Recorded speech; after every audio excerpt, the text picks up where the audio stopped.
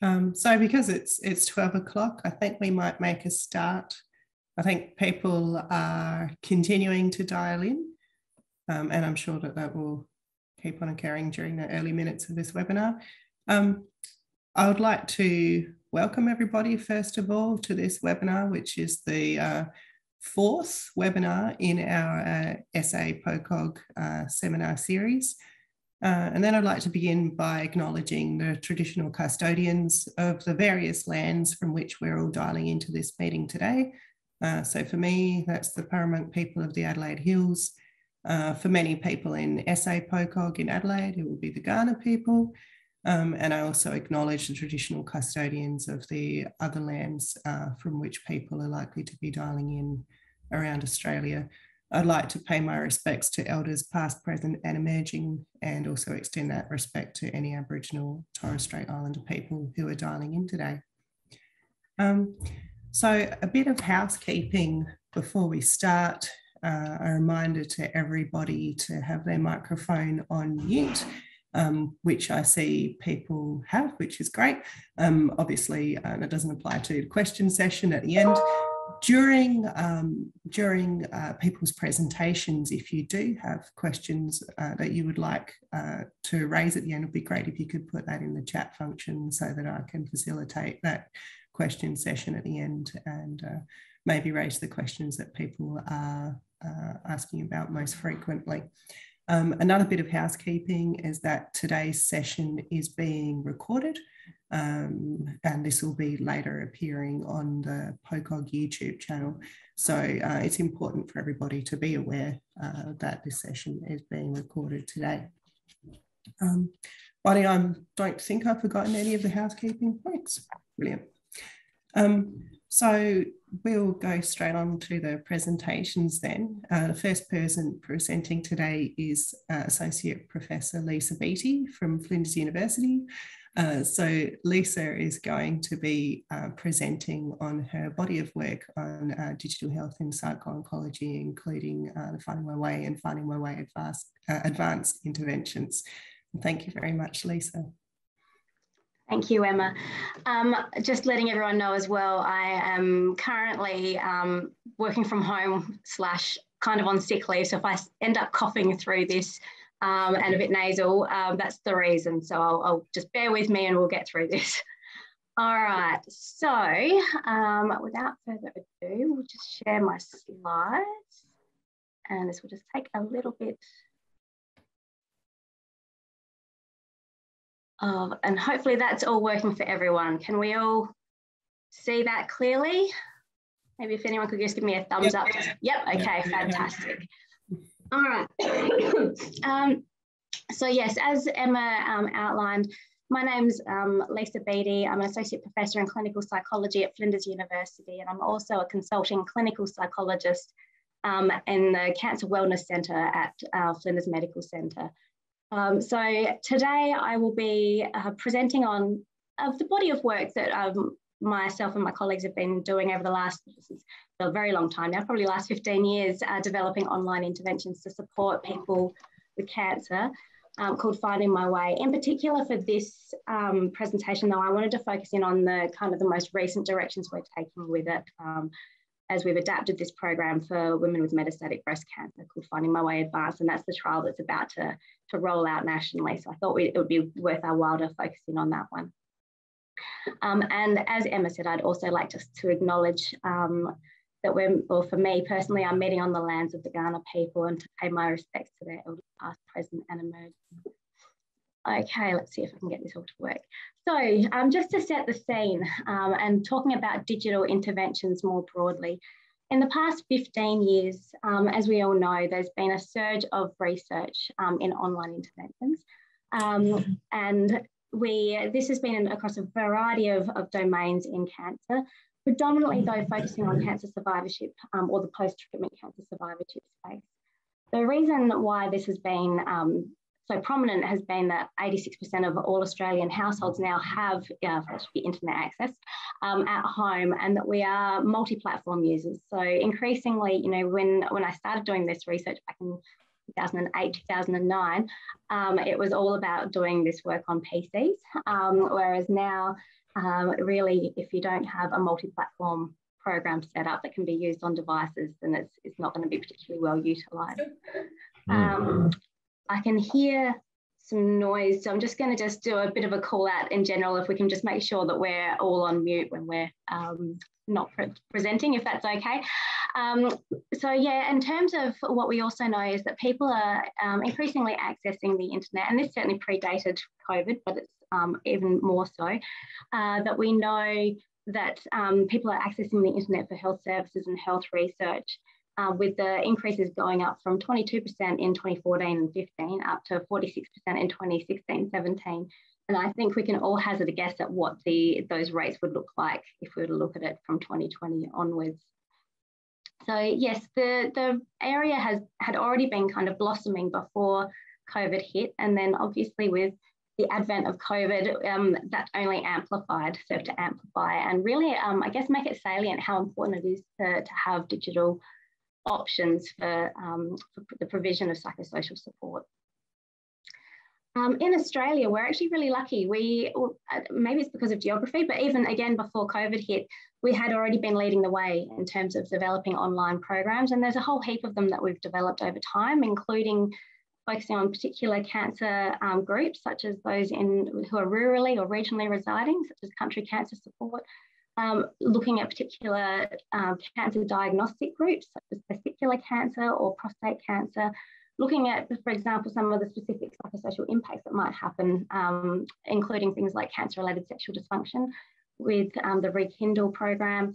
And then there are also transdiagnostic programs um, for cancer-related depression and anxiety, for fear of recurrence, um, and also in cancer survivorship, which you'll be hearing more about from Morgan next, um, an online healthy living after cancer program. Um, now, as you would already note, one of the challenges just from this slide, um, one of the challenges that can come up in the area of digital interventions is that we get funding to create them, um, you know, get research funding to create them, but what happens after the, the clinical trials finish that quite often these programs are no longer live, there's no longer ongoing funding for them. Um, so on top of the ones that I've outlined here, we also developed our own Finding My Way um, program. And unlike the previous slides, which all pretty much, um, nearly all of them focus, as I say, on that post-treatment cancer survivorship space, when we designed Finding My Way, we were very much designing it for those who are recently diagnosed with cancer, being treated with curative intent. Um, and what do we find with this? It's um, we found that both groups reduced. Um, so we, in a national randomized clinical trial, we found that those, um, yeah, that compared to a control condition, uh, there was significantly better emotional functioning three months after receiving the program, um, and significantly lower total health service use and supportive care practitioner use. Um, in the post-treatment phase as well. So while both groups, um, our control group in this um, trial, oops, sorry, um, our control group in this trial received a psychoeducational condition. Um, so they actually did receive quite an active mini lower dose intervention. So we did find that both groups reduced in distress. Um, but yes, that we that those who were assigned into the intervention group had significantly better emotional functioning. So they were managing that distress better and it was having less of an impact on their lives. Um, so of note, the other thing to note, I think, from the programs that I've outlined so far is that none of the programs developed to date, or at least at the time that we started doing um, our research in this area, had targeted the needs of um, cancer, uh, those with cancer that couldn't be cured um, or advanced or um, metastatic cancer. So to address that gap, uh, more recently, we, uh, and based on some of the things that I was seeing clinically as well in the hospital, is that many of the needs um, overlapped, but obviously some of the needs um, and concerns that the people with advanced or incurable cancers were expressing to me um, were different. So, um, and, and but that this is also a population that reports feeling like they're underserviced or under, um, yeah, they're often overlooked. So to address these gaps clinically as well as from the research literature, we co-designed Finding My Way Advanced. Um, so I thought I'd go over why I think this is important um, and using metastatic breast cancer, I guess, as um, a you know, trying to work out can we make it work for this population, and then if we can demonstrate that it works, can we then broaden out to other um, incurable or advanced cancer groups? Um, so in terms of understanding why it's important to target um, people who have got incurable cancer, we know that in 22, 2022 alone, nearly 20,000 Australian women will be diagnosed with um, breast cancer.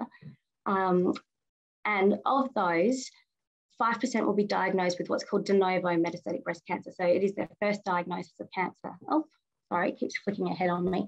Um, and that of those who previously had an earlier stage cancer, 10% uh, will go on to progress having metastatic disease. So that results in a, approximately 3,000 women every year who are diagnosed with metastatic breast cancer. Um, and given that we know we've got improved treatments and survival duration, uh, the prevalent number of women who are living with metastatic breast cancer is increasing.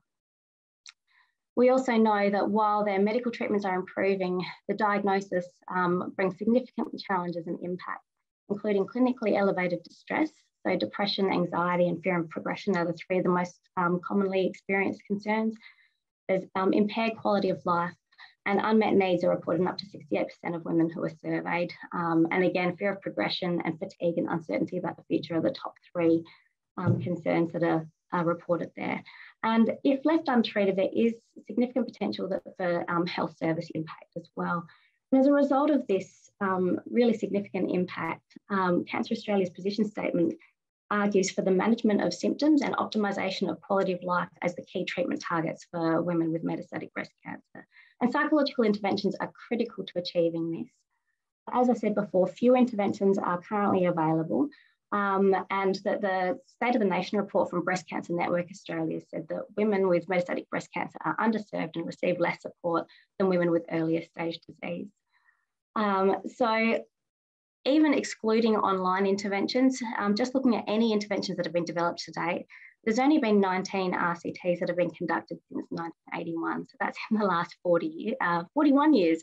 Um, and the majority of those have been delivered in group or individual settings.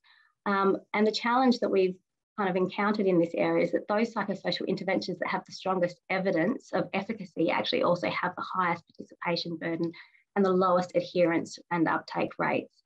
In contrast, low intensity interventions were, um, have not been really um, explored too much in this population, with only three telephone and two expressive writing um, interventions tested, and none have been tested online.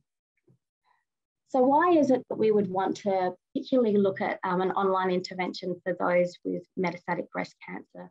Well, there are some real barriers to accessing face to face treatment options, including um, illness barriers. So this is a, a group who um, are actually experiencing significant illness burden um, uh, and attending multiple other appointments for their illness. There could be geographic barriers for those that live rurally or um, regionally. There's also personal barriers that um, it could be that there are multiple other roles that they're, they're juggling, um, or also the ongoing stigma associated with accessing mental health services. And of course, uh, for us, we've got the workforce shortfall, which is one of the, um, I think has been really highlighted since COVID. Um, it, was, it was bad before and it's worse now in terms of actually being able to access psychosocial support. So that led us to um, co-designing um, and adapting our original Finding My Way program and tailoring it to those um, with metastatic breast cancer. So the co-design process that we adopted um, was a, a user-centered design where we started out with identifying what the, um, now if I can make it work here, I don't know if we can see the mouse on at all or not, um, but we started with the, um, identifying what the user needs and requirements are through conducting some interviews with um, and conducting stakeholder consultation with our research group and interviews with women with metastatic breast cancer and presenting them with our existing um, scenario, uh, finding my way and getting feedback from them about what modifications were needed. Um, we then, after get, getting that um, evaluation from them, we then were able to really develop a, a, tailored version of the program, Finding My Way Advanced, and test that for usability. So I thought I'd quickly um, step us through how we did this.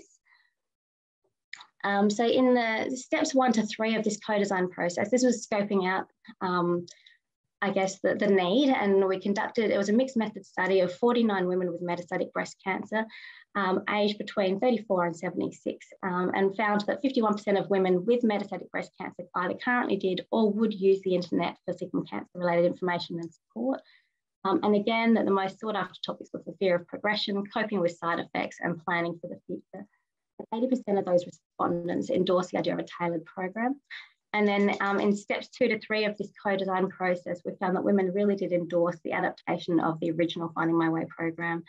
Um, and of note, some of the important feedback received was that even in its current unaltered version, um, many of the, much of the content was already still therapeutic and helpful. But the areas that really needed to be focused in on were um, to change the language, um, to avoid some of the, the language around transitioning to survivorship, as this was not something that they felt they would be surviving, but instead learning to live well with. Um, and yet to develop some more tailored content around living well with metastatic disease. So that led us to developing um, a prototype, our pilot version of the, the program. And this is um, what the user dashboard looked like in the, in the first iteration. And it's, it's largely unchanged now. Um, where when people log in and create their accounts, this is their, their kind of personalized user dashboard, which summarizes the six key modules um, that they are able to access. And it covers some of the most commonly experienced concerns from navigating their diagnosis or um, interacting with their healthcare team, for the unique challenges that they might experience when they're navigating metastatic disease, coping with physical symptoms and side effects, coping with emotional distress, um, how they see themselves in terms of roles and identity, um, and also coping with concerns that come up amongst their social support networks and, and helping to support their family and friends. So what we ended up doing at this point in the co-design process was presenting um, women with um, with the program and then doing a think aloud protocol where they actually click through and work out how to use the program and we are capturing their concerns that are coming up um, any issues and pragmatic issues that might be coming up during that phase as well and we were able to make modifications based on what some of the pragmatic usability concerns were that were emerging, as well as if there were any things that were kind of not quite hitting the mark, we were getting that general feedback in this stage of testing as well in co-design. So, uh, yep, um, that led to us having our final design um, that emerged from it. Um, and this is where we're up to um, now where, oh no, sorry, the next stage was feasibility testing, um, where we then took this to a small randomized pilot trial um, with the aim of assessing the feasibility of the program um, through a single site trial. Um, and this is where we had women who had stage four metastatic breast cancer with a life expectancy of over six months, aged 18 plus, uh, who had internet and email access and were proficient in English. And they were recruited. Now, if you have a look at the dates, they were recruited between the 27th of February 2020. Um, literally, I think that was 10 days before or two weeks before um, all of the impact of COVID hit. Oh, sorry. Um, and um, these were recruited through community networks and social media adverts. Um, and they were emailed the website link, completed a baseline survey, and then were randomized. So either our intervention, which was the program plus usual care, um, or the um, control condition, which was receiving Breast Cancer Networks Australia's Hope and Hurdles kit. Um, for this stage um, in co-design, we're really trying to demonstrate feasibility in terms of what were the recruitment rates and uptake rates, what was the retention like, how many modules were completed, um, how many people completed the survey. And we also collected some data that we haven't looked at yet um, on signals of efficacy. So in terms of results, um, recruitment commenced, as I said, two weeks before um, COVID hit. So we ended up having to pause recruitment and then resume slowly as of July 2020. Um, and then we did find that we didn't hit our recruitment target of 40, but we got really close. We got 35 participants where we had 17 intervention and 18 control participants with a recruitment rate demonstrated therefore of 2.9 per month. The uptake rate was actually quite, um, really quite good. We had 61% of those that were eligible that took it up. And this really varied by um, the recruitment method, where we found that Facebook advertising was definitely the most efficient. We only had six weeks um, of recruiting through Facebook, and we had 15 women consent through that, compared to recruiting through clinicians for basically the whole year, and only um, you know having much smaller numbers through through that recruitment method. So that's great for in terms of um, increasing your, your uptake, but whether or not there's a difference in adherence is something that we need to unpack. We did find that adherence to the program was quite modest um, with only 2.3 modules accessed um, and only 35% completed the therapeutic dose of four modules. Attrition was quite low to moderate with 23 out of 35 um, completing the post-treatment assessment. right? Um, so in terms of where to next, and just mindful of the time, we have actually managed to secure Cancer Australia funding, which is so exciting, um, and where we're going to be com comparing Finding My Way Advanced with a minimal intervention control condition, which is um, My Journey Online. Uh, and we'll be doing this in a double-blind, parallel, randomized controlled trial um, and recruiting via eight sites um, nationally, as well as advertising through Facebook again.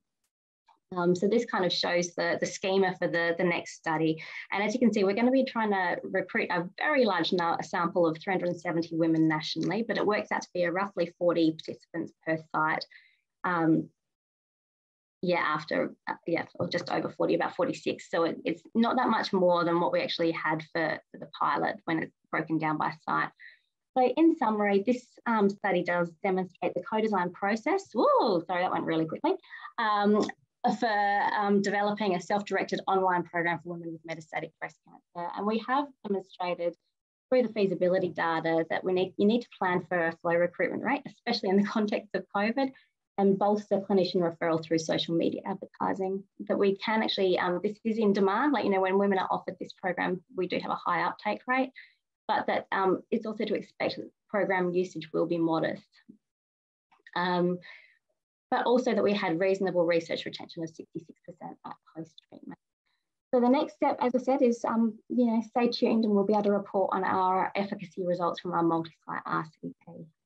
And I just want to acknowledge the um, all of the investigator team so far, and this is not including the upcoming Cancer Australia team. Thank you.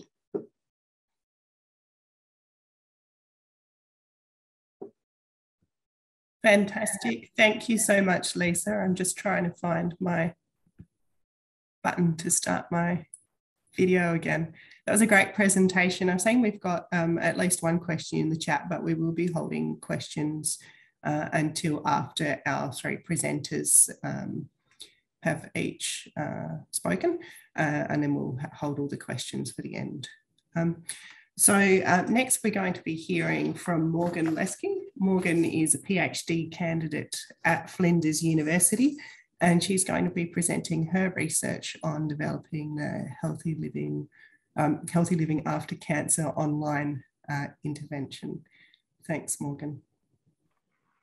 Thanks, Emma, and thanks, Lisa. That was an awesome introduction, I think, to uh, digital health interventions, but I think also to the co-design process as well. Um, as Emma said, I'm a PhD candidate at Flinders University, and today I'll be presenting on the co-design of an online healthy living program for post-treatment cancer survivors. Uh, so this is an online nutrition, physical activity, and psychosocial um, yeah, intervention for cancer survivors. Sorry, just trying to get it working. Um, so just before we begin, it's important to note that um, it's commonly accepted that cancer survivorship starts at the point of diagnosis. However, in this project, we'll be focusing on the post-treatment phase of cancer survivorship. That is um, a cancer survivor who's completed active treatment, such as surgery, chemotherapy, or radiotherapy. Um, sorry, I just wanted to double check. Am I presenting the right, like the right screen? Because I can't see properly on my thing. Am I? Yeah, you're good. Okay, yep. fantastic. Thank you. Um, yeah, so it's well documented that engaging in a healthy lifestyle um, after cancer treatment, such as physical activity, adequate nutrition, and maintaining a healthy weight, can mitigate some of the challenging impacts of cancer and its treatment um, by improving well-being, um, reducing the risk of treatment-related side effects, uh, reducing the risk of cancer recurrence and other chronic health conditions. However, majority of cancer survivors in Australia are not meeting the recommendations for a healthy lifestyle. In fact, inactivity and weight gain are commonly um, are common throughout survivorship. Uh, healthy living interventions have demonstrated efficacy in assisting cancer survivors to achieve their healthy lifestyle goals. However, these programs are not routinely implemented um, at the completion of treatment. Um, and this issue, as Lisa was talking about, is compounded for those who live in rural and remote areas who often are disadvantaged in access to their healthcare services. So to address these needs, Cancer Council and the University of Queensland collaborated to develop and, and implement Healthy Living After Cancer. So this was a six month telephone delivered intervention where cancer survivors were offered up to 12 phone calls with a Cancer Council nurse to support them in making their healthy lifestyle changes. Um, so this targeted goal setting, physical activity, healthy eating, weight loss, and staying on track. Healthy Living After Cancer uh, was offered as part of a research trial evaluating the program's efficacy in supporting the cancer survivors in making healthy lifestyle changes. And although this program did yield significant clinical benefits for participants, such as improvements in physical activity, in nutrition, um, and physical quality of life and cancer related symptoms, the program wasn't sustainable for majority of the cancer councils um, that took part in the trial, and this was due to the cost and the resources that were required to um, continue the program. So to address these sustainability issues, Cancer Council SA and Flinders University um, are collaborating to develop an online adaptation of the Healthy Living After Cancer program, which we have really creatively named Healthy Living After Cancer Online. Um, so online interventions promote the self-management of health and self-directed behaviour change. So as a result, online interventions require minimal financing following their development. So taking this reasoning, adapting healthy living after cancer to an online program has the potential to reach a wider range of cancer survivors who may not have access traditional, to traditional face-to-face -face support, whilst also enhancing the program's sustainability to ensure that the program does meet the needs of cancer survivors, um, our research team has been taking a co-designed approach to the, its development. So as Lisa was also talking about, co-design refers to the involvement of end users uh, in the design process of the intervention. And this results in an intervention that is more sensitive to consumers' needs and their preferences. So the co-design framework that we've been using for this project is the Stanford's design thinking process as described by Woods and colleagues. And it's an iterative process that involves five phases. So empathize is to understand uh, end users, every, their everyday life. Uh, the define phase is to identify what they want addressed in the program. The ideate is the idea, idea generation of what they want included in the program. Uh, prototype is creating a basic visualization of the program. And the testing phase is to refine the prototype and test it with a new group of end users. So the first round of stakeholder engagement was conducted by Ashley Grant in 2019. Um, she was a part of our team then, and this encompassed the empathize and define phases of the co-design process. So this round involved three end user stakeholder groups, including 21 um, adult cancer survivors, 12 healthcare professionals, um, and five NGO uh, cancer support representatives. So this round involved uh, focus groups and interviews and interviews with our stakeholders to define what healthy living means to cancer survivors. And they also had a look at the workbook that was associated with the telephone delivered program, and they had a discussion about what a new version of this program could look like. So two key messages emerged from these discussions. First is that healthy living is defined as a good overall quality of life and includes physical health, mental health, and adjustment to the new normal. Second is that healthy living programs should include physical health, mental health, and peer support components, and also offer a flexible format and long-term accessibility. So we took these findings and we created a black and white uh, visualization of the program, otherwise known as a wireframe. And this current slide shows the wireframe as the home screen of the proposed Healthy Living After Cancer online program. We included all the original components of the Healthy Living After Cancer program and also added modules for mental health, uh, for fatigue management, for finding the new normal and peer support. At the end of 2020, we held the second round of stakeholder engagement, which encompassed the idea and the prototype phases of the co-design process. So this round included, again, focus groups and interviews, and we presented the wireframe of the Healthy Living After Cancer program to our stakeholders. In these discussions, we also used a persona task where we asked stakeholders to create a hypothetical user of Healthy Living After Cancer online um, the description of the user included like the age, uh, the gender, the cancer diagnosis, and also healthy their healthy living goals. And the reason why we did this was to understand a little bit more about how users might actually use the program and also discuss if there was any other um, you know, ways that we could support them. So we invited all of our stakeholders back to participate in the second round of engagement and 71% um, of our group returned. Uh, so it was 14 cancer survivors, 12 um, oncology healthcare professionals and one uh, cancer support representative. And then we also had an additional um, healthcare professional and cancer support representative join our group. Uh, so overall, the feedback we received suggested that Healthy Living After Cancer Online should be user-friendly, um, accessible, and offer the ability to self-tailor the program. Should also be interactive and include features that assist the user in using the program. It should include links to professional support, should include access to peer support and provide some support for family members. And it should normalise the after treatment experience and include cancer specific information. So the suggestions from the second round of stakeholder engagement were implemented into the development of Healthy Living After Cancer Online. And the key changes included um, the introduction of guidance videos at the beginning of every module to help navigate um, each of the modules. Uh, we also included survivor stories in the Finding the New Normal section, the physical activity section, um, the mental health, the healthy eating and peer support um, sections as well. We also uh, had pages detailing how to access relevant healthcare professionals uh, in the physical activity, healthy eating and mental health um, sections. And we also included um, tags to let participants or users know uh, if they'd started the module, not started the module, or completed it. Um, and we also had two reminders that were sent to you, like reminder emails that were sent to users if they didn't log on uh, for a week. So for the next stage of our co-design process, um, we're currently finalising our pre-post pilot trial um, to look at the feasibility of healthy living after cancer online.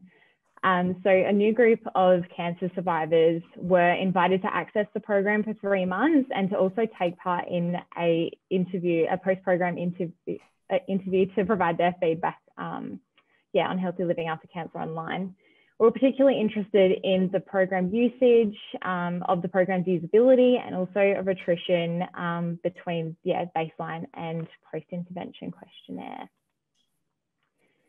Uh, so we had 15 people sign up to Healthy Living After Cancer Online. Um, this was in about a three month period.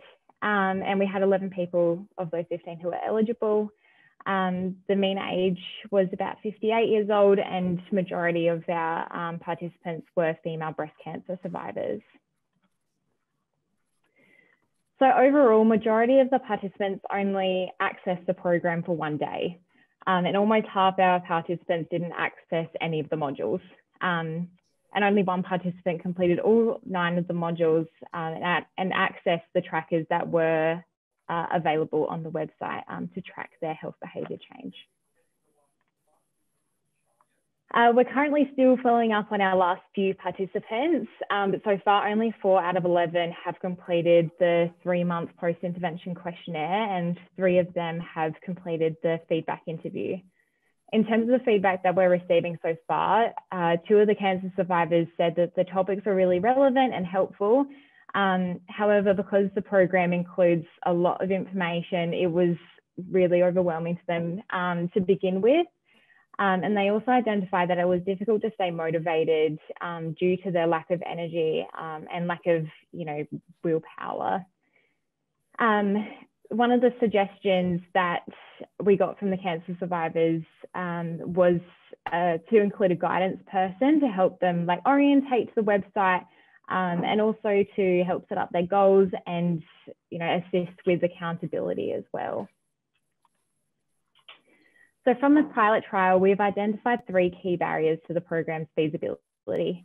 First, completely self-guided online programs are easy in, easy out, meaning that they're really easy to sign up for. However, without that person to hold them accountable, they're also really easy to disengage from.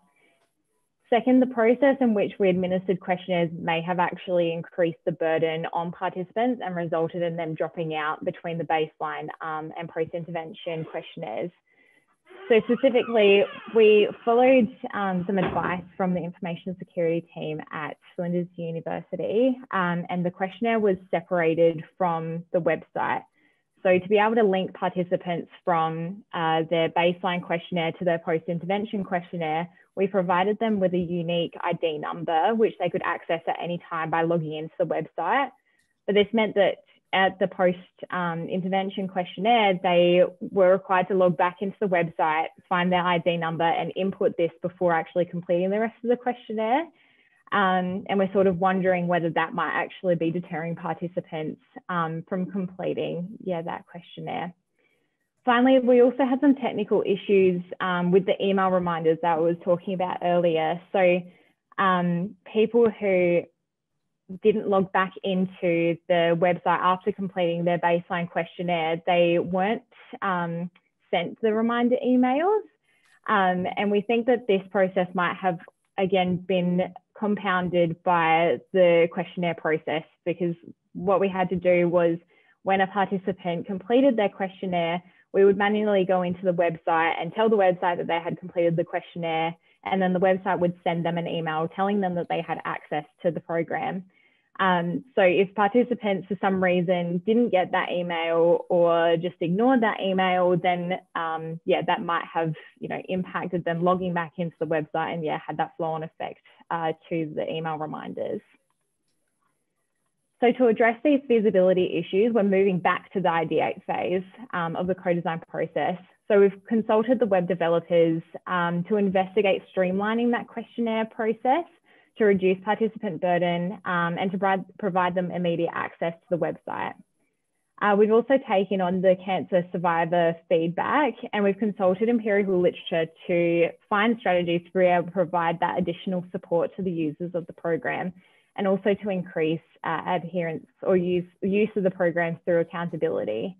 Uh, so we identified three different strategies. So um, there's supportive phone calls, um, SMS reminders or coaching, um, or some form of peer support, which could be offered either face to face, over the phone, or on discussion forums. Um, but to ensure that whatever strategy we selected to try to implement with Healthy Living After Cancer Online, you know, has the best chance to be implemented after the testing trials, we consulted um, with our stakeholders at Cancer Council SA um, and through these discussions, we selected um, doing two brief telephone support calls at week one and week four of the program, and also SMS reminders, as they're already using um, these sorts of strategies with other supportive services um, that Cancer Council SA is currently offering. So the next step is to enter another testing phase um, of co-design where we'll be investigating the feasibility of implementing healthy living after, after cancer online uh, with the addition of the telephone support calls and SMS reminders. So overall, co-design has assisted with the initial development of healthy living after cancer online to ensure that it addresses the needs of post-treatment cancer survivors it's also helped us identify feasibility issues with delivering healthy living after cancer online and also helped us identify how to address some of these feasibility issues and promote that long-term sustainability um, of the program. So before I finish, I'd like to just acknowledge our investigator team um, who are working on this project, IUGO for the website development, um, and also our stakeholders for their time and expertise. Thank you. Thank you very much, Morgan. That was a great presentation and a really good um, overview again of the co-design process. Um, really appreciate that, but I think we will um, hold questions for the end um, and move on to Nicole's presentation. Uh, so Nicole is a, a clinical psychologist with Lift Cancer Care uh, and she's going to be presenting to us today on her clinical experience of uh, delivering telehealth in psycho-oncology. Thank you very much, Nicole. And Emma, can you see my slides? Yes, we can see your slides. It's perfect. Thank you. Okay, so hi everyone. I'm Nicole, as Emma said, clinical psychologist at Lift Cancer Care, which is in the Tennyson Centre on South Road. Some of you might be familiar with it. Uh, it's a private allied health clinic with a focus on uh, exercise medicine, but also there's a couple of us psychologists here. And I've been working exclusively in the um, field of oncology for about 15 years now, um, with the exception of a couple of mat leave breaks. Uh, so just going to have a bit of a chat about my experiences of using telehealth and a little bit about using online programs as well. So I've done quite a bit of telehealth in the past before the pandemic and actually was a telephone operator throughout my uni. Um, so pretty comfortable on the phone, but it really wasn't until COVID that it became the bulk of what I was doing.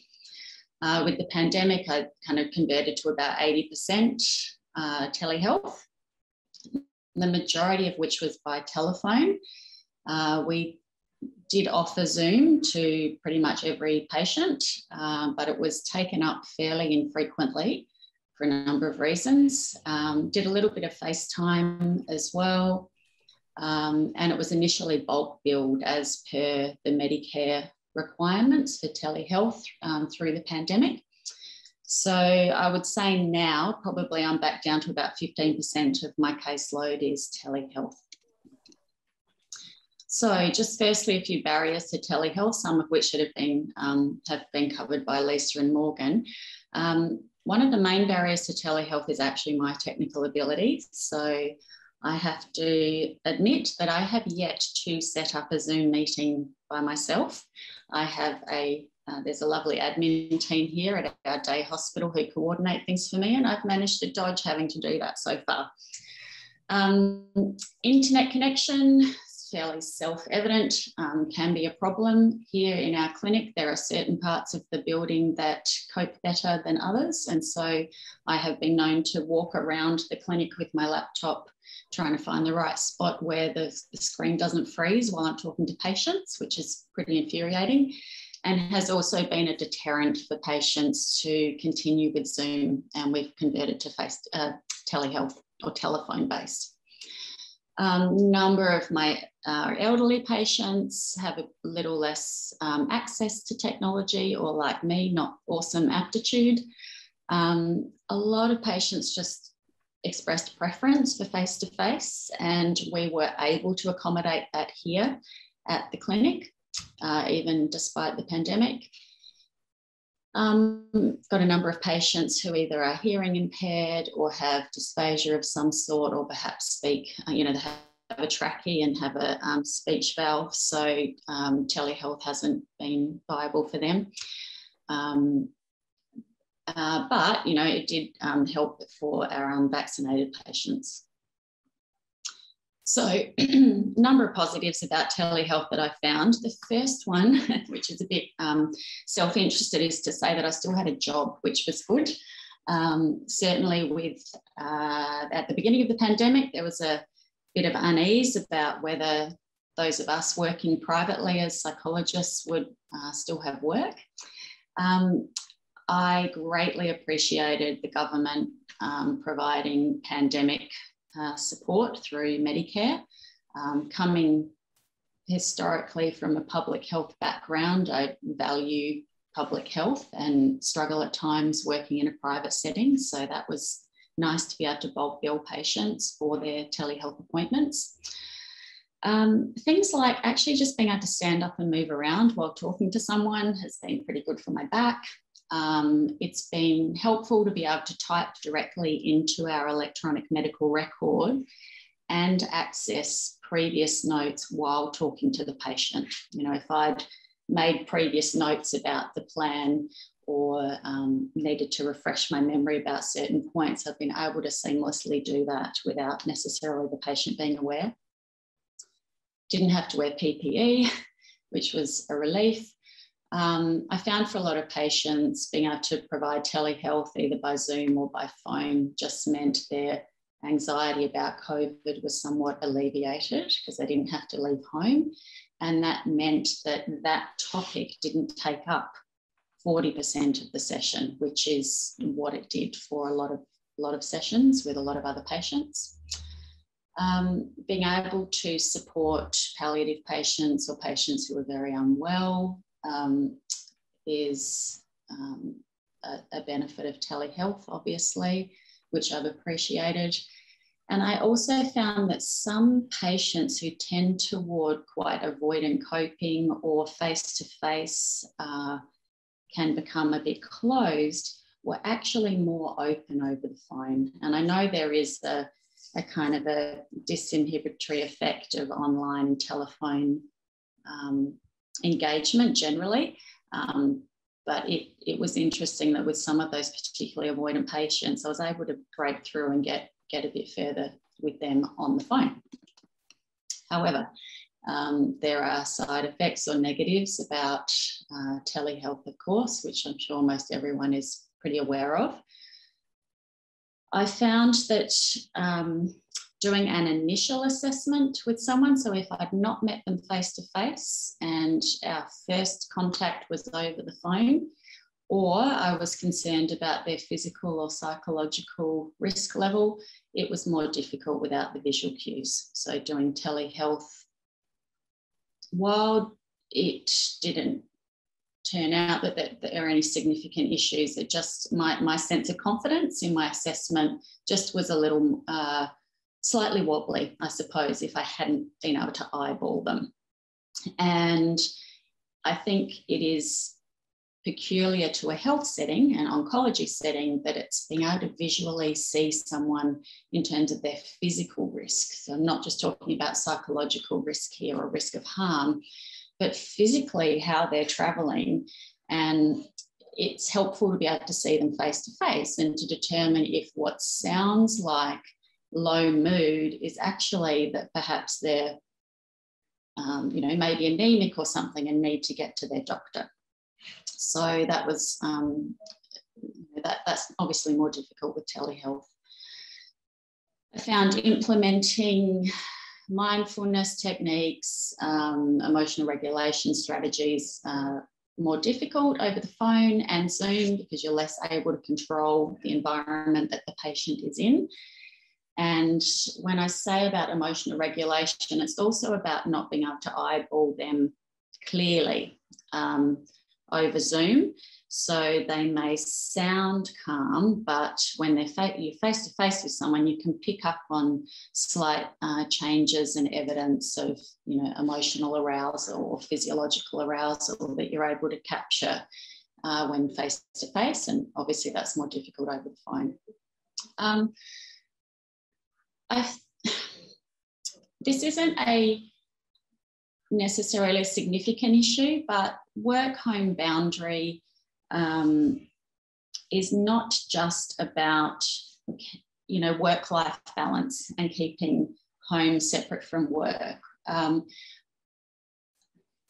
I'm not sure that I particularly appreciate having my patients' issues in the rooms of my home. Uh, so when working from home, uh, you know, I've, I've always had a pretty good ability to separate work and home. I don't worry about patients or think about them a lot after hours, um, but their issues, their mortality, their distress, their grief is now sitting at my dining table or in my study or wherever I am talking to them. So I am just was mindful of that. And I find that, a, a, a, I guess, a particular challenge with telehealth um, telehealth, even when I was doing it in the clinic, I found or do find quite isolating from my team. Um, when working from home doing telehealth, uh, the lack of access to the paper files here was sometimes a bit difficult and just made things a bit tricky. Uh, technologies a bit frustrating. Uh, frozen screen was almost routine. And many, many times I would be looking at a frozen screen and just kept talking and hoped that the patient could see me on the other end. Uh, my dog likes to bark. So that was an issue working from home doing telehealth. Um, I trust that this is a fairly universal experience, that doing a lot of Zoom meetings, doing a lot of phone meetings is actually just really tiring. I think we have to work a bit harder in some ways um, to get the information we need when we're doing it without some of our senses. And I think being face to face with people, most people think maybe that's more draining, but I actually find it actually gives a bit of energy. Um, maybe controversially, I think it's important to be able to hug a patient or give put a hand on their shoulder, particularly if they're bereaved or I'm saying goodbye to them for the last time. And so obviously that wasn't an option with telehealth or Zoom, which was a shame. Now, I did say before that avoidant patients were sometimes more open over the phone. But equally so, some of those really avoidant patients could be even more avoidant on the phone, shut down, even end the call. Um, and one other negative is that I had to remember to turn caller ID off on my phone. I only use my mobile at home. So um, every now and again I forgot, which is a little concern because I um, don't necessarily want clients to have my phone number. Um, so that's kind of telehealth or phone counselling, I suppose. One of the other um, online uh, services that we provide at Lift is education videos for patients. So there's just a little um, example of some of them. And I think it's a bit of a way forward, particularly as we have quite a long waiting list here at Lift. And it seems like quite an efficient but personable way to get some information to people, maybe give them a bit of guidance, clearly not individually tailored, but still hopefully accessible for patients when uh, either in between sessions or while waiting for a service. Um, now, I also refer to a number of online resources, um, certainly Finding My Way is one of them. Again, a bit like our videos on um, the Lift website, I find that suggesting the Finding My Way um, program is useful for patients on their waiting list, but it can also empower existing patients to access information between sessions. Uh, I also uh, fairly regularly refer to the This Way Up program out of St Vincent's in Sydney, um, particularly the health anxiety program.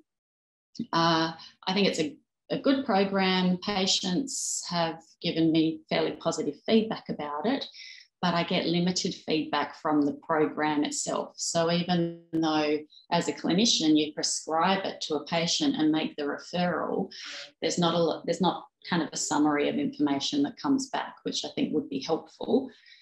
What you do get, however, is very regular alerts about people, your patients having scored high on their distress screening. And, you know, some days I'll have multiple emails from this way up saying, high distress, high distress, high distress for various patients.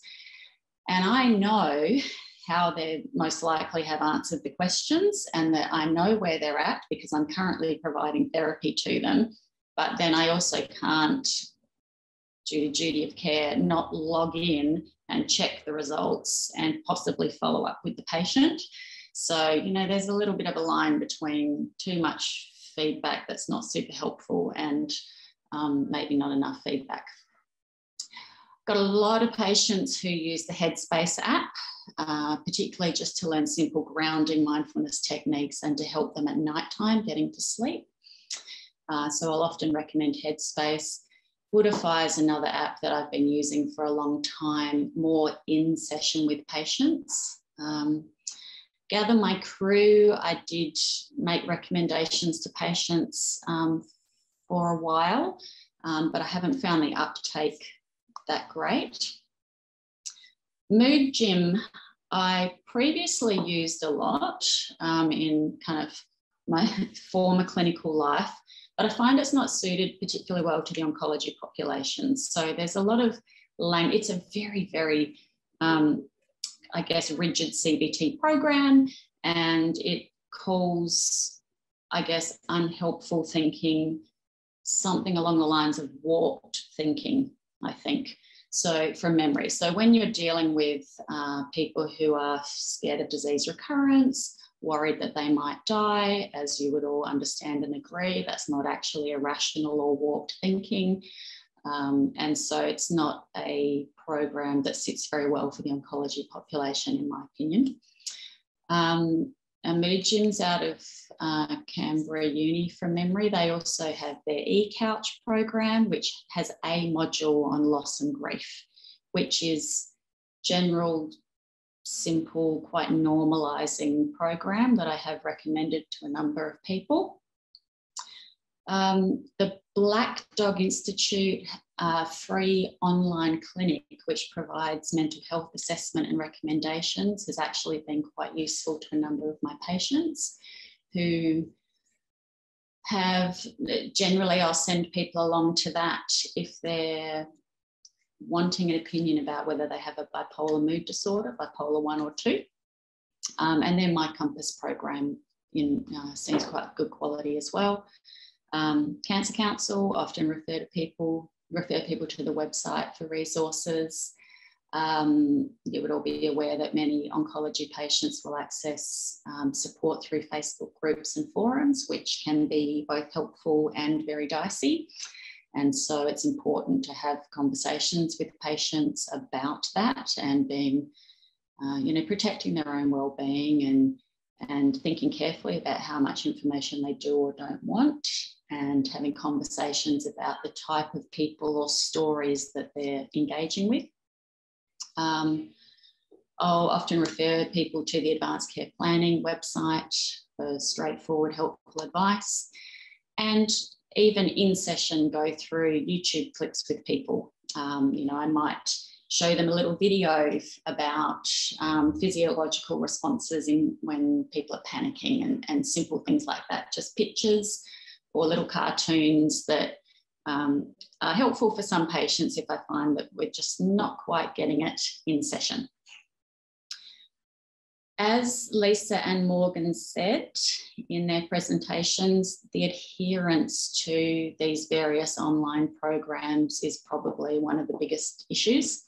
So patients I've found will often be quite interested and maybe do one or two modules of a program and then drop out or go through them very quickly uh, and or, you know just not persist so adherence i think is one of the biggest issues um, and so just finishing up i'm conscious of time um, just some things I've, i guess i've thought about is that uh, it's really important to set the rules and parameters of your telehealth from the outset, um, insisting that patients are stationary, not in their car and then going to school to pick up the kids and then making dinner while talking to you.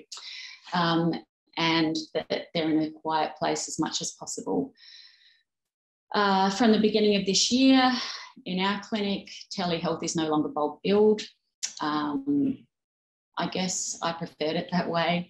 Um, and I do have a bit of an internal struggle about the, the efficacy or therapeutic value of telehealth at times. So it is a bit of a challenge for me to people now have to pay a gap to come um, to talk to me on the phone as well. Um, it's really important to make sure your telehealth space is looks like a workspace. I think that will help a little bit with this sense that your patients are in your own home and their issues are in your own home. To help with adherence to self help programs, I need to get a little bit better at bringing the patient's experiences of telehealth, uh, sorry, the online programs into the sessions. So, kind of perhaps setting homework of doing X number of modules between sessions and then reviewing progress perhaps to help with adherence and to help them get the best value out of those programs. Um, I think there's a lot of value in them and I you know I should use them more, but it's also really hard to keep track of everything that's out there. Um, and so thank you for listening. I'm just going to show you this photo. This was the last time Lisa and I met via Zoom. And for 20 minutes of our discussion, this is what I was looking at on my screen. Apparently, Lisa could see me talking and moving my hands and communicating normally, but this is what I was looking at for 20 minutes. while I was sitting at my kitchen table. So there's an example of, you know, the sources of one of my frustrations. And to be fair to Lisa, because she's obviously very um, clear in that picture, this is what I look like down in the bottom corner. So that kind of captures how I feel about frozen screens and uh, telehealth, I suppose. Okay, thanks everyone. Thanks for listening. Thank you very much, Nicole. Very much appreciated that presentation. Um, particularly, you know, for me as a non-clinician researcher, uh, it's been great to hear about the pros and cons, both of delivering telehealth and also of uh, referring to other online resources. Um, now I'll just move on. Uh, Lisa was uh, going to step us through some work that PoCoG has been doing around telehealth guidelines. Lisa, is that still something that you're able to to spend a few minutes on? I'm mindful of, of the time. Yeah, I'm, I'm really mindful of the time yeah. as well. But I think um, I will just say very briefly that um, it, it segues beautifully from what Nicole was saying that I think many clinicians found themselves not quite sure how to adapt um, some of the therapeutic techniques to telehealth. And, you know, the assumption was always that we would be doing video conferencing rather than um, telephone. But I think your experience, Nicole, is very much reflected in what we found in some of our research that the vast majority of um, people delivering telehealth was actually via telephone. Um, so as a result of that, um, an expert telehealth advisory group have actually developed some recommendations or guidance document uh, documentation around how to adapt psychological therapy um, in this space um, to be a useful guiding document for clinicians that are, you know, are going to likely have to continue to work, um, do this sort of work ongoing. Uh, and at the moment, we're just conducting a Delphi study to see whether the recommendations and the guidelines that, that have been developed are, are, helpful. So I just wanted to give that, that study a plug. Um, and in particular, I will really briefly just share the, the, the, the um, slide that's got the link to it so people can see it. Or maybe I'll just post the link into the chat. That way, if anyone is interested in kind of contributing to the development of these guidelines and, and seeing how it's going would be really great. But we have um, got five broad recommendations of, of things to consider when you're adapting telehealth um, or adapting therapy to the telehealth setting. So that's the link if anyone is, is keen to do that. Um, but I'm really mindful of time, so I won't go into any more detail than that for now. Yep, no problem at all. Um, so perhaps if we move straight on then to the, the questions that are in the chat, um, anybody who is uh, not able to, to stay for question time, I totally understand. And I can certainly um, answer uh, questions about the Finding My Way program. Um, and I might start with those. Um, so we had some questions in chat, uh, first of all, about um, what kind of Facebook advertising we did, um, because that really did help to improve our recruitment for our pilot uh, feasibility trial of Finding My Way Advanced Intervention um, quite significantly. Um, and we actually did both uh, posts on uh, accounts of relevant organisations that we were partnering with and the targeted ads, which were through Flinders University um, social media team. But it was the targeted ads that led to the um, sudden spike in recruitment numbers. So our and we had uh, help from the, from the social media team at Flinders Uni to sort of you know design an effective ad and make sure we were targeting it to the right groups. And um, you know that was sort of released several times over um, I forget that you know a certain amount of time, a couple of weeks or something like that.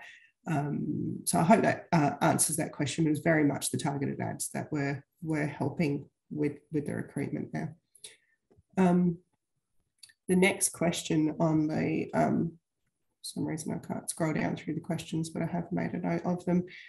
Uh, the next question from Ben, thanks Ben, about um, the aim of digital health being um, to make uh, care more accessible and whether or not we should be having broader eligibility criteria for trials, um, even in the pilot phase. I uh, my, I guess my um, response to that, and I don't know whether or not Lisa wants to add anything, is that the, the eligibility criteria should really reflect the population that the intervention is being designed for. Um, and, and, you know the, the, who the intervention is designed for in the real world as much as possible. So for Finding My Advance, for example, um, we were looking at uh, women with so adult women with metastatic breast cancer um, provided that it wasn't right at that sort of end of life care um, phase, which wasn't really what the content was designed for, and we didn't co-design uh, the content with women who were in that phase. Um, I don't know whether or not you wanted to add anything to that, Lisa. I, I agreed. I think it's really important for eligibility criteria to be as, as broad and inclusive as possible, being mindful of, you know, who, which population the intervention is intended to be used for uh, once it's out there in the real world, provided it gets through the, all of the um, design and testing hurdles that um, these interventions tend to go through. Uh, and the final question, I think, directed to Lisa about the Finding My Way and Finding My Way advanced trials um, is about whether or not there are any guidelines um, to interpret adherence to digital interventions. Um, as far as I know, and correct me if I'm wrong, Lisa, we really look more at um, existing literature on what adherence levels to online interventions tend to be like, not just in the cancer population, but also um, to online uh, uh, for online interventions to address mental health in general. And uh, Lisa worked together uh, with a previous student to do a systematic review of adherence to online interventions for um, mental health outcomes. Is that correct, Lisa? So um, right. yeah, so we're really judging, um, you know, modest adherence, for example, um, in relation to adherence levels that were found in that systematic review. Um, we did explore reasons why some participants uh, completed uh, no or, or only one module. Um, and in quite a lot of cases, it was to do with uh, personal or illness related factors that were a barrier to people um, being able to engage. Um, so people had other issues as well as living with metastatic breast cancer. For example, one participant had her father pass away and her mother was unwell and, and things like that um, can really get in the way. And I think that's one thing to be very mindful of is that, you know, people with a cancer diagnosis, as, you know, we're likely to be familiar with, also have other things happening in their life at the same time um, and to be mindful that in this population those things do come up. Um, so you know from the from the sort of telephone follow-up and the qualitative interviewing that we did um, those were the main sorts of reasons that came up. Having said that most of the people that agreed to do a qualitative follow-up interview were the people who had engaged a little more with the with the intervention. So I'm really talking about uh, people that I was uh, phoning to find out whether they had any issue with completing their follow-up questionnaire and it's sort of anecdotal feedback that we had. Um, I might move on to the questions um, about Morgan's presentation. Uh, Morgan, you might want to um, respond to these. So um, Ben has said again um, too much information is a, is a common criticism of, uh, I assume, meaning of, of online interventions and online resources in general. Um, and could you suggest ways to identify the essential ingredients of digital health interventions so that we can strip them back in order to promote engagement? Um, did you have a, a, comment to that, Morgan? Yeah, absolutely. Um, I think the challenge that we're facing with Healthy Living After Cancer Online, because we've gone through this co-design process and cancer survivors and well, yeah, all of our stakeholders identified that healthy living, like it's it's a really broad definition that encompasses a whole bunch of different things like the sort of physical health, the mental health, fatigue management, like all those sorts of things. So with healthy living after cancer online, it's hard to be able to identify, you know, what elements um, do we need to include if we're viewing health as this holistic construct. Um, I guess one thing that I've heard that other digital health interventions have done, um, for example, the the Be Well intervention that's currently being offered um, at Flinders Uni, I think I've heard that they have um, almost like a questionnaire for participants to fill out at the beginning and then they can, um, you know, that recommends which modules would be good for them to access. So potentially implementing something like that um, in digital health interventions, like actually, you know, providing recommendations about which modules would be really useful for people to access um, might be able to address that sort of, um, yeah, that to promote the engagement. I guess we're hoping to do something a little bit similar with our telephone um, support calls in that, you know, the first support call would be identifying what their aims are with the program, what their sort of healthy living goals are, and then make recommendations about what modules would be really useful for them um, to access to be able to, um, to meet those goals. Um, so I guess it sort of just depends on, you know, what is the digital health in, um, intervention? What is that actually targeting? And yeah, it's it's a tricky one. yeah, I think that I think that makes sense. You know, if we can, they're, they're not always easy to um, design or integrate, but sort of having those, I guess, um, ways to screen as to to what people's concerns are and what it is that they're helping hoping to get out of the the program or the resource can really help to direct them to the right parts of the resource because I think with our work co-designing Finding My Way Advanced, one thing that comes out of it consistently is that there's never a one size fits all and people don't necessarily have the same idea of what's in there or what they're going to get out of it. So being able to kind of direct people to the parts that are relevant to them um, can really help. All right. Um, just, oh, um, Another question, and I think this was for Healthy Living After Cancer Online, um, was to, as to whether or not you had any kind of uh, metrics or indication for how much people use the videos at the beginning of each module. Yeah, so I haven't actually had a look at that yet, but I had a quick look um, just before about you know how many views we had um, on each of the the videos, and they sort of corresponded to um, you know, the number of people that access each of the modules. So for example, um, you know, the finding the new normal and the physical activity and the My Goals modules, they were the ones that were most frequently accessed, now accessed by three people. Um, and each of them had, you know, three or more views on there. So I think it does like give a little bit of indication that they are they are being used. Um, but yeah, I haven't had a whole lot of feedback in terms of how they actually found um, those guidance videos yet with the small number of cancer survivors that I have been able to interview. Um, Certainly no. in finding my way in our previous trials, we've found that the videos, both the survivor videos or um, the personal account videos of, of women living with it, um, along with the healthcare professional videos are always sort of the most, uh, we, we always receive a lot of feedback about those being really well appreciated and utilised. And I wonder if that also lines up a little bit, Nicole, with um, those educational videos that you're putting up, you know, whether you're receiving feedback on, on those as well. Mm-hmm.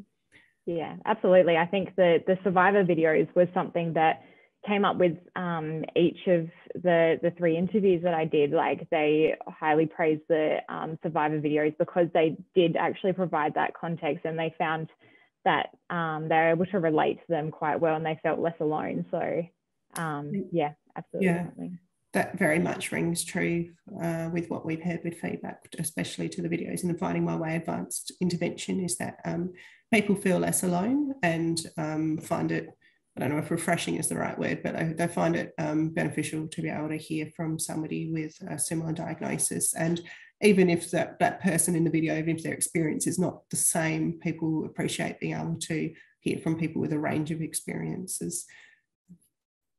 Um, moving on with a, a question for Nicole. Um, Ben's asking, are there particular types of patients who seem keen to continue uh, using telehealth now? So I think you said, Nicole, that it dropped down to about 15% of people who are continuing Mm. um, to use telehealth, and, and, also what you might think about a hybrid model with um, initial face-to-face face-to-face sessions um, that are then followed up with subsequent telehealth sessions. Yeah, um, I think that just the drop down in volume is just people are more comfortable now to come out into the world.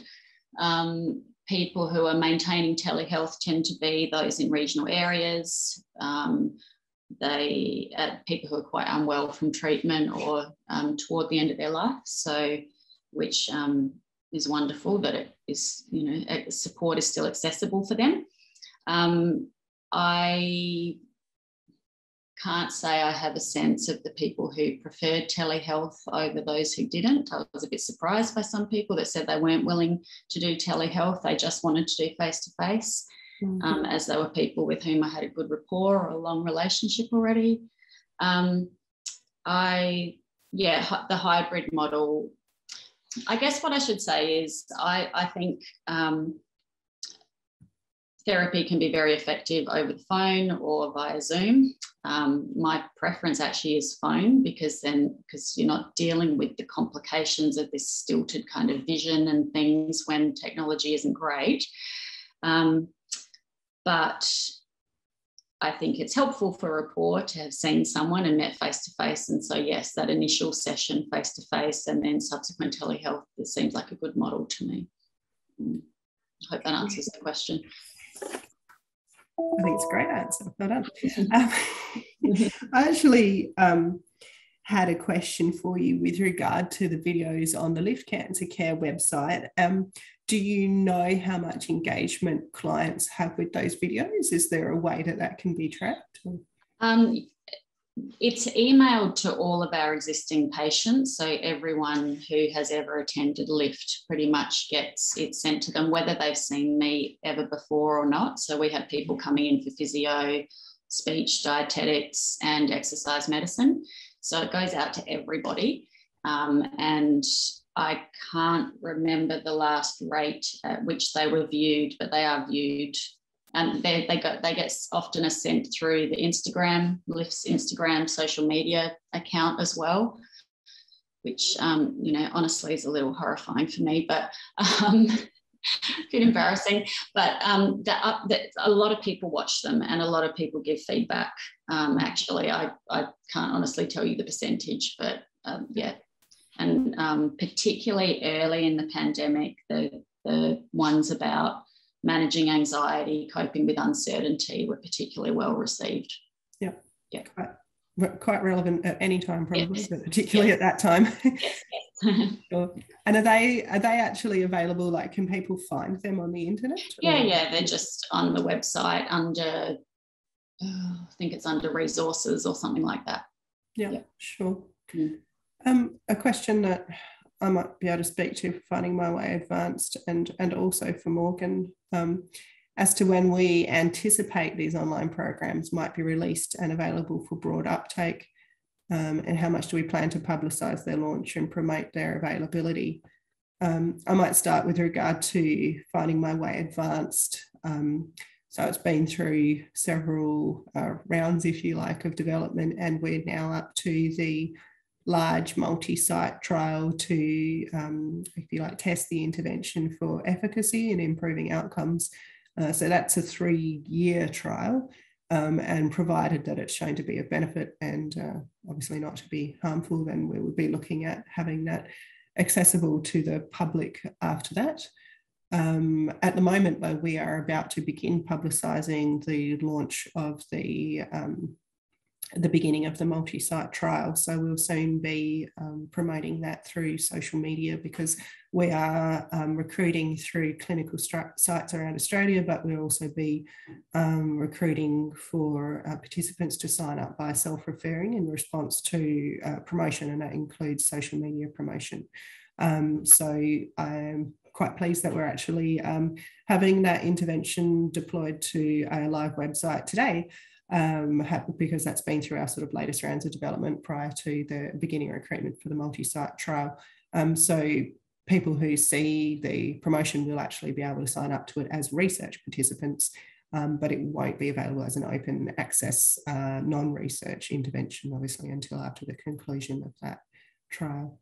And Morgan, did you did you want to speak to HLAC Online? Obviously, still in that co-design uh, yeah, we're still in the sort of feasibility testing phase to actually see whether you know it's feasible to implement this intervention. Um, but like the the next feasibility trial, um, we're hoping to start uh, the first of August. So then people will be able to get same with um, finding my way. They'll be able to sign up to Healthy Living After Cancer online um, as a research participant then.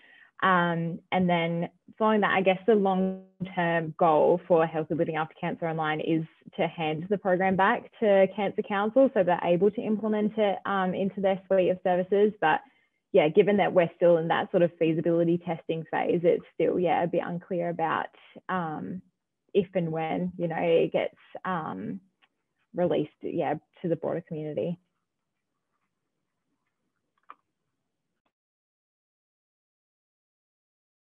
Sorry, having trouble unmuting myself. Thank you very much for that, Morgan. I'm just trying to check whether or not there are any new messages and questions that have come in while we've been. Uh, um, so Ben's question is, uh, what if the plan, if moderate levels of feasibility are demonstrated, perhaps not sufficient to warrant a larger trial?